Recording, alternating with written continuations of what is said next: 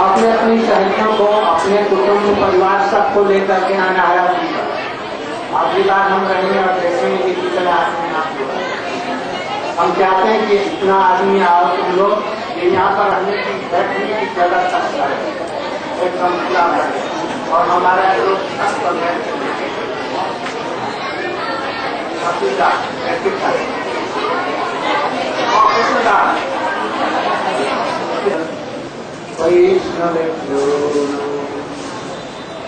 नमो महावदन्याय।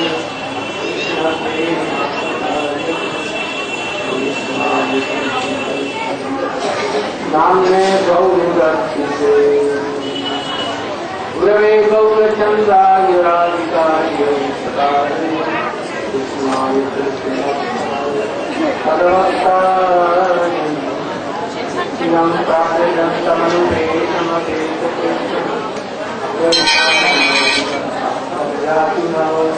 पुत्रेति तन्मय servo तं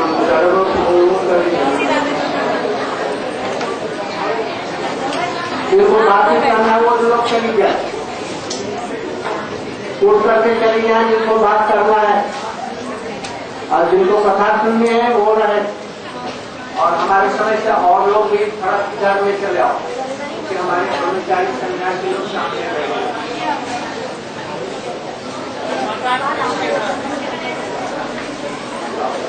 और तो सबको जाना नहीं है।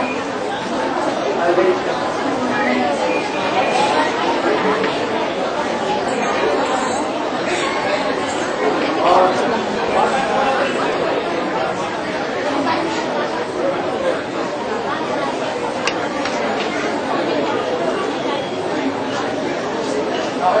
ああ。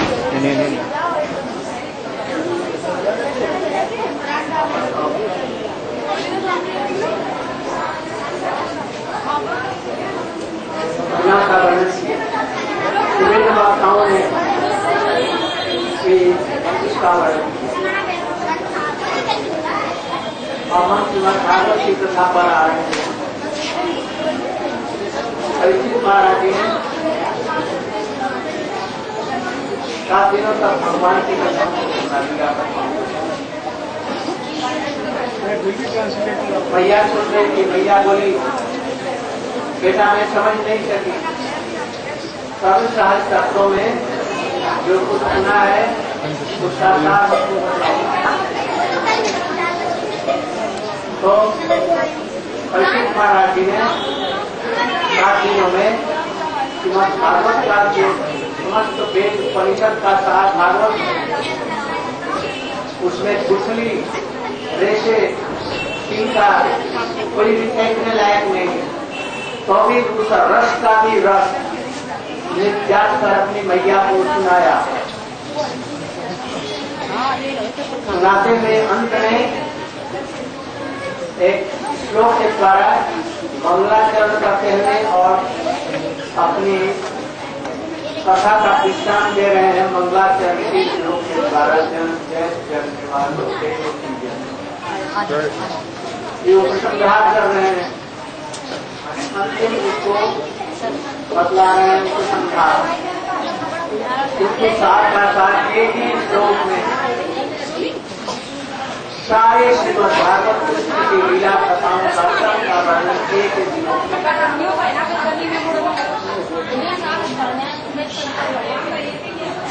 श्री कृष्ण जय जी को साधारण इसका अर्थ है वही कृष्ण। जो सबके हृदय में निवास करते हैं। जन निवास हो। पृथ्वी में जितने भी जन हैं, प्राणी मात्र हैं, सबके हृदय में निवास करता है इसलिए जन निवास हो। एक में छ विशेषण है। कृष्ण की जय हो रही है, किंतु उनके विशेषण दिए हैं छ निवास देवकी ज्ञान माधव जदुवर परिषद चोरी गौरी दर्शन श्री श्री घटना सुस्मित श्री मुखेन ब्रजपुर बनिता ये छ विशेषण इसका अलग अलग हम व्याख्या करेंगे। जैसा सनातन गोस्वामी ने व्याख्या किया। तो प्राणी मात्र के, विश्व के प्राणी मात्र के, जो हृदय में निवास करते हैं पहली बार हम लोग समझे और न समझे सबके हृदय में निवास अथवा जीवगणों के आश्रय होकर के, नारायण जीवों के आश्रय होने पर भी देवकी में, के हृदय में गर्भ में जन्म ग्रहण कर सारे जगत के हृदय में जो निवास करते हैं और बड़ी विचित्र बात हुई, क्या वो अब देवकी के गर्भ में यहाँ देवकी से दोनों को समझिए, देवकी और दशोता में। देवकी के गर्भ में जो जन्म ग्रहण किए हुए हैं, ये केवल प्रसिद्धि मात्र है बाद है। विवाद भी हो सकता है और बाद माने प्रसिद्ध भी होता है। यह प्रसिद्ध है कि देवकी के गर्भ से ही जन्म लिए वो स्वयं भगवान जदु श्रेष्ठ, जदुओं के श्रेष्ठ। अक्रूर जी, उद्धव जी, उग्रसेन महाराज इत्यादि जो बड़े बड़े हैं। विष्णु वंश वाले। वो सब जिनके सेवक हैं। और पांडव दैत्य विनाश के लिए विनाश पर उनका संहार कर धर्म की प्रतिष्ठा करने में उनकी पूजाएँ हैं, फल उन्हीं के कृष्ण तो इच्छा मात्र से कर सकते किंतु अर्जुन और भीम के द्वारा दुष्ट असुरों का संहार किया महाभारत और धर्म की प्रतिष्ठा की। इतर पावर और जनता चलने वाले और नहीं चलने वाले। समस्त जीवों के दुखों को हरण करते हैं। स्थिर क्षर प्रीति न प्रीति माने दुख, चलने वाले प्राणी हैं, नहीं चलने वाले प्राणी हैं, समस्त प्राणियों के, समस्त प्रकार के दुखों का दूर करने वाले हैं। नाम संकीर्तन जस्य सर्व पाप प्रणाशन प्रणामो, दुख समन अब नमामि हरि। वो हरि, ये कृष्ण है। जिनका कीर्तन करने से सभी क्लेश दूर हो जाते हैं। इस विश्वास के सहित में नाम करो। उनकी कथाओं को सुनो। ये तुम्हारे जितने प्रकार के जन्म, जन्मांतर में होने वाले क्लेश हैं, दुख हैं, ये सभी दूर विश्वास नहीं होने से गड़बड़ हो जाए मुझे विश्वास है आपको। जिन्हीं जो सुंदर मुस्कान से शोभी अपनी बंसी के द्वारा और अपने सुंदर मुख के द्वारा मैंने मुस्कुराते हुए मुख से, प्रति गोपियों के और पूर्व वनिताओं के वातावरण। रुक्मणी सत्यभामा इत्यादि। और यहाँ प्रति गोपी श्रीमती राधिका चंद्रावली ललिता विशाखा इत्यादि मंजरी सब काम को वर्णन करते हैं। काम मैंने यहाँ पर प्रेम समझो। विशुद्ध प्रेम को वर्णन करते हैं।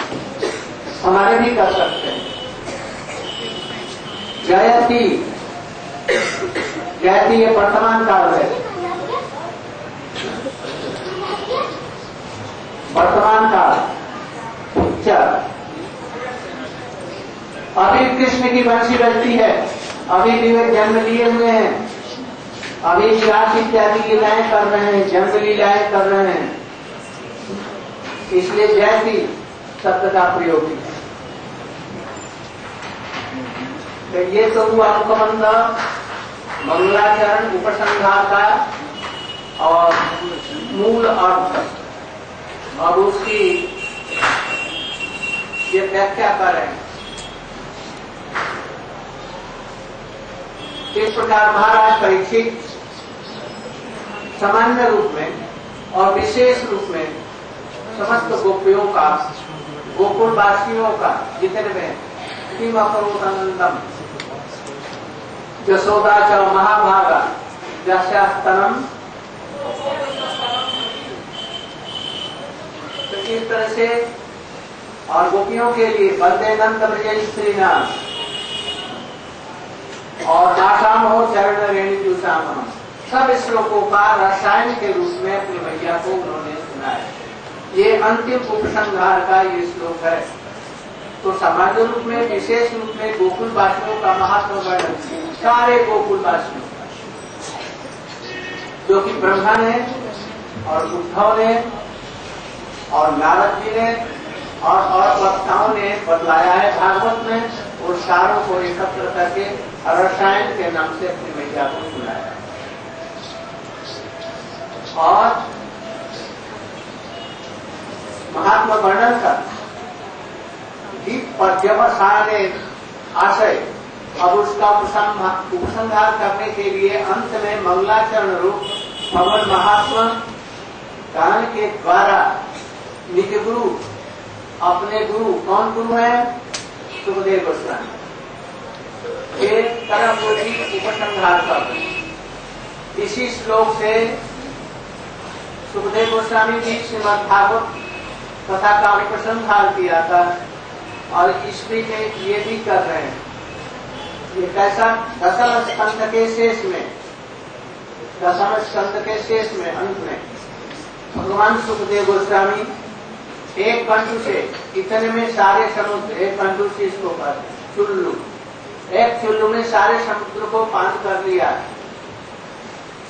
उसी रूप में, जैसे अगस्त जी ने एक चुल्लू में समुद्र को पान कर लिया, वैसे कृष्ण चरित महासागर को पान करने के लिए मानो इस श्लोक को पढ़ने इसमें श्रीमद भागवत का पूरा कथा, और शास्त्रों में, पुराणों में जहाँ तक जो कुछ कृष्ण लीला का वर्णन किया गया है, सबका वर्णन इसमें कर रहे हैं। एक बंधु उसमें पान कर कैसे ये वर्णन करेंगे सनातन गोस्वामी? यदि अर्थ नहीं करते तो शायद सुखदेव गोस्वामी समझते या परीक्षित महाराज। और किसी श्रोता के ये पल्ले कुछ भी नहीं पड़ता। अर्थात कोटि कोटि ग्रंथों में जो वर्णन किया गया है कृष्ण की लिखित लीला। लेकिन जितनी भी उनकी लीलाएँ हैं, संक्षिप्त स्वास्थ्य स्वरूप प्रस्तुत विषय का उपसंहार करने के लिए जो सुखदेव गोस्वामी इस श्लोक में जैत जैत के द्वारा उपसंहार रूप मंगलाचरण करते एक उसी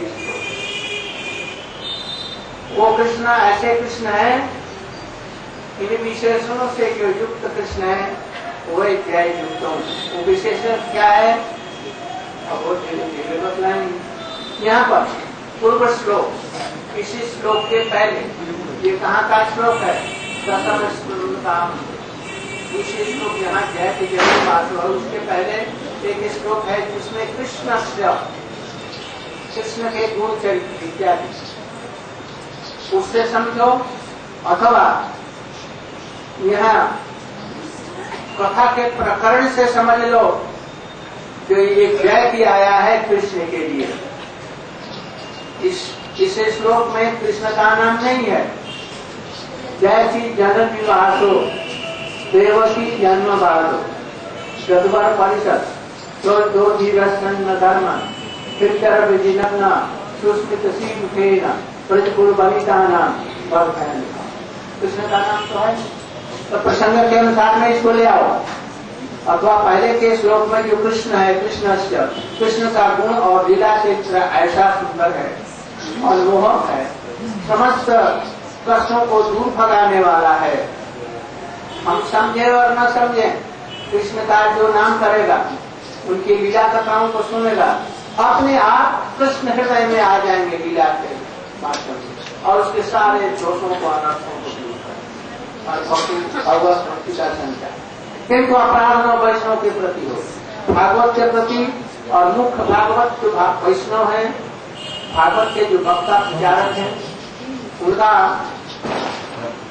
उनकी निंदा ये ग्रंथ नहीं शंकर लीला कृष्ण नहीं शंकर इसलिए इसको छोड़ करके जो लीला कथा सुनेगा, ज़रूर उसकी कृष्ण में रुचि होगी। भगवत भक्ति कुछ बात ग्रंथ का ग्रंथकार माने सनातन कृष्ण निपात राधिका राधिका की इस प्रकार नाना भावाकुल अवस्था वर्णन किया। तरह तरह की राधिका जी की महिमा वर्णन किया है, विशेष करके। और अंत में इसमें क्या है? समस्त लीला था ब्रजपुर कविता नाम वर्धने काम। ब्रजपुर नाम ब्रजपुर ब्रजपुर माने ब्रज के। कौन है वो? गोपियाँ माताओं के तो काम को वर्धन करेंगे नहीं, सखाओं के काम को वर्धन करेंगे नहीं, दासियों के करेंगे नहीं। ये गोपियों। गोपियों ने विशेष करके श्रीमती राधिका, ललिता इत्यादि के साथ। अवस्था का वर्णन करके जगत के रागानुगा मार्गीय साधकों को लीला स्मरण कैसे करना चाहिए, उसकी विधि बतला रहे हैं। हाँ? ग्रंथकार श्री सनातन गोस्वामी पाद नाना प्रकार के भावों के द्वारा, वर्णन के द्वारा जगत के जितने रागानुगी भक्त हैं। विशेष करके रूपानुगी वैष्णव हैं। ऐसे जो साधक हैं, लीला कैसे स्मरण की जाएगी? एकदम प्रारंभ से जन्म से लीला से आरंभ करके अष्टकालीन जितनी लीलाएँ हैं, ये सबका कैसे स्मरण करना चाहिए? उसकी विधि दे रहे हैं, ऐसे। तो पहले तो सुनेंगे गुरु वैष्णव के मुख से लीला कथा और सुन करके फिर ऐसे ही हम लोग चिंतन करेंगे। चिंतन, यदि लीला का चिंतन करेंगे, कृष्ण लीलाओं का कृष्ण ने ये ये सब लीलाएँ की हैं, ये सब श्रवण करेंगे।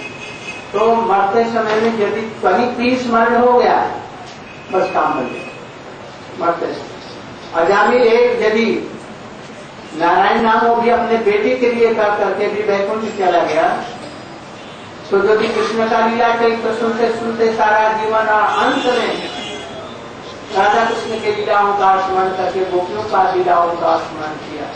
तो उसकी कौन सी गति होगी?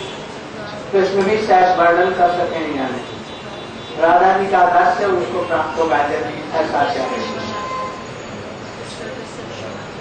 तो किस प्रकार से? बतलाया है। श्रुति के वेदों में ऐसा कहा गया। ब्रह्मपुच्छ प्रतिष्ठान। तैतरीय उपनिषद ब्रह्म ही पूछ। और प्रतिष्ठा। मूल क्या है? जिसकी पुच्छ और प्रतिष्ठा ब्रह्म है। ऐसे जिसे जगत इत्यादि की सृष्टि होती है तो वो कैसे होंगे? इसलिए हमारे गोस्वामी ने इस, इसकी व्याख्या की है। अर्थात अन्वय आदि अन्नमय आदि कोष सकले जिन्हें मूल आश्रय। अन्नमय कोष प्राणमय कोष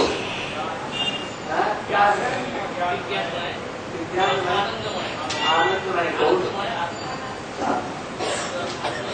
इन सबके मूल आश्रय कृष्ण है। सबके मूल। से परमानंद पुरुष ऐसे हुए उस परमानंद पुरुष से भी ब्रह्म जी ने जो ब्रह्म पुच्छ सदृश वो जो ब्रह्म है वो पुच्छ सदृश है और आश्रय मूलाश्रय कौन है कृष्ण है और उसकी ये पुच्छ हिस्सा है श्रुति वाक्य ब्रह्म उत्कर्ष श्रुति वाक्यों से वचनों से ब्रह्म का उत्कर्ष प्रकाशित सर्वत्र हुआ। ब्रह्म सूत्र में विशेष कर हुआ। ब्रह्म। उसमें भी ब्रह्म संहिता में है ना? तद उस ब्रह्म से भी परात्पर भगवत तत्व प्रकाशित है उस ब्रह्म से भी परात्मक तत्व जो भगवत तत्व है कृष्ण तत्व है। वे रसो वही वह रस, रसमय है रस स्वरूप है। रस दिए वायन लक्षानंदी भवती। रसम। एवं अयन लब्धानंदी भवती। रस स्वरूप कृष्ण को पाकर के जीवन में मनुष्य नहीं सुखी हो सकता है जीवन, प्राणी मात्र हो इस प्रकार से रस तत्व को ब्रह्म से परात्मा रूप में निर्देश है। इसलिए रस तत्व को ये जो ब्रह्म है, इसलिए रस तत्व जो कृष्ण है रसो वैसा वे श्रेष्ठ है। श्रेष्ठ कौन? कृष्ण। पीछे सार वेदांत, सार लिखित प्रमाण शिरोमणि, भागवत में इस प्रेम स्वरूप भगवान को मल्ला नाम असिनी नीनाम नरहर स्त्री नाम स्मरो मूर्तिमान, इत्यादि वर्णन किया वही कृष्ण। रसो वैश्य वही भारत रसों के अधिष्ठात्री देवता है। उन सभी रसों में इनकी आराधना होती है। श्रीमद भागवत में बतलाया गया। तो इसकी व्याख्या सनातन गोस्वामी ने अनर्थ की है। मल्लों के निकट जो युद्ध करने वाले हैं कृष्ण के लिए चारों मुस्लिम इत्यादि असल वज्र के समान है दिखने में। छोटे से बच्चे अभी हैं। अभी वृंदावन से ब्रज से, नंदगांव से अभी मथुरा में आए हैं। पीठ जैसी हाथी को मारकर दांतों को उखाड़ दिया। रक्त के छीटे पड़ गए हैं। और गजसावों की भांति वहाँ से चले। जब अखाड़े में पहुँचे तो ताल ठोकने लगे तो चारों मुश्किल गाने पर उन्होंने कहा कि हमारे उम्र वाले लोगों से, उम्र की कोई ज़रूरत नहीं है, तुमने बड़े बड़े लोगों को पछाड़ा है। बस भिड़ गए किंतु जब भिड़े तब जबकि पंजाब मिलाया हमारे वज्र के समान मौलाना अशनी वज्र के और वेदांत मनुष्यों का निकट नर अत्यंत सुंदर नल नारद के नारियों के निकट में मूर्तिमान संदर्भ समूह वहाँ पर जितनी नारियाँ थी, कृष्ण को देखा कंधर्प के समान परम सुंदर, आकर्षक देखा। इस प्रकार इन वचनों के द्वारा कृष्ण को रसस्वरूप वर्णन किया और वो भी द्वादश रसों से उनकी आराधना होती है, ये भी दिखला है। अतः रसस्वरूप स्वयं भगवानी अपने नाम रूप गुण लीला के द्वारा जीवों की इंद्रिय वृत्ति में अवतरण कर यथा कर ये कृष्ण ही जीवों की इंद्रियों में दया कर हरि कथा के माध्यम से, नाम के माध्यम से, सेवा के माध्यम से कृष्ण क्या करते हैं? हमारे इंद्रिय समूहों में अवतरण करते हैं। माने क्या? आँख के द्वारा दिखाई दे सकते कान के द्वारा उनको सुना जा सकता है। उनकी बंसी सब समय बज रही है। जैति शब्द के द्वारा। वर्तमान सारी इंद्रियों में मन में उदित हो सकते हैं। उनकी चिंता ध्यान भी किया जा सकता है। कैसे ध्यान करेंगे?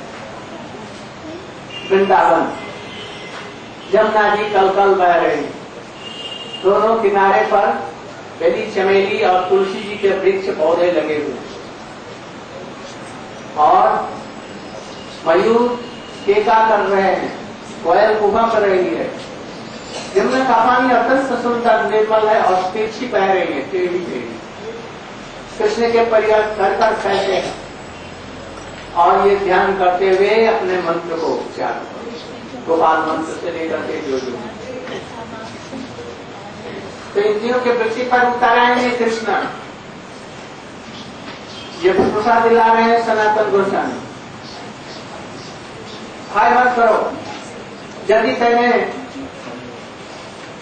कोई अपराध नहीं किया। और इन लीलाओं का स्मरण या किसी प्रकार से इंद्रिय की कोई भी वृत्ति यदि स्पर्श कर जाए तो बस कृष्ण उतरेंगे हमारे लिए।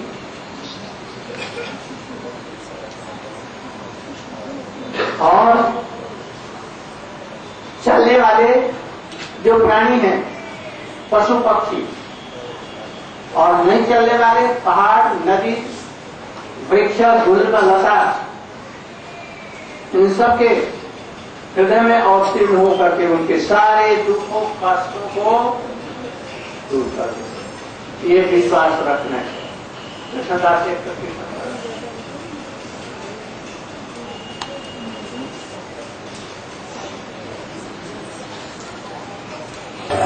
But time I is over now. When you will explain afterward, after that they can see it all and you can तो आरती आरती।